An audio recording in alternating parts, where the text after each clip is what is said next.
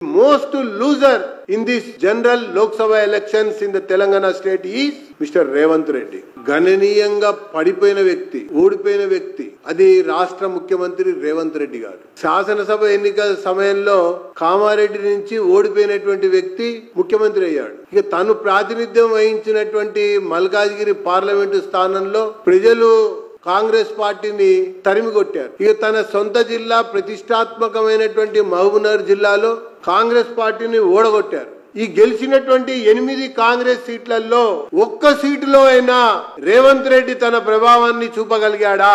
తన వల్ల గెలిచానని ఒక్క గెలిచిన అభ్యర్థి అయినా చెప్పడానికి ముందుకు వస్తున్నాడా అంటే ఒక్కరు కూడా అసలు రేవంత్ మాటనే తీయటలేదని చెప్పని నేను పేర్కొంటాను ఇది కాంగ్రెస్ పరిస్థితి దుస్థితి స్థితి. ఒక వైపున కప్పం కడతానే ఉన్నావు సరిపోయింది. మరొక వైపున కొంచెం పాలన పైన దృష్టి పెట్టు. ఖరీఫ్ వచ్చింది. అనేక నగరాల్లో అనేక మండల కేంద్రాల్లో కల్తీ విత్తనాలది తీవ్రమైనటువంటి ఒక అంశంగా ప్రబలిపోతా ఉంది. విద్యుత్ కొరతతో సతమతమైతా ఉన్నారు. ఇంకా రాజకీయాలు మాట్లాడుతున్నాడు ఆయన. బీఆర్ఎస్ ఓట్లు బీజేపీకి పడ్డాయట గెలిచిందట. ముఖ్యమంత్రి మొదట్లో ప్రచారం ప్రారంభిస్తూ ఏమన్నాడు?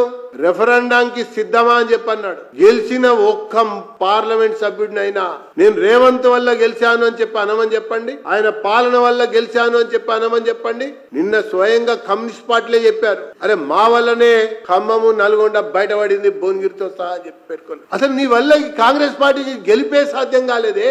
నువ్వు ఓడిపోయిన ముఖ్యమంత్రివి పడిపోయిన ముఖ్యమంత్రివి పాడిపోయిన ముఖ్యమంత్రివి. నువ్వేంది నరేంద్ర మోడీ గారిని విమర్శించేది బీజేపీని ప్రశ్నించేది?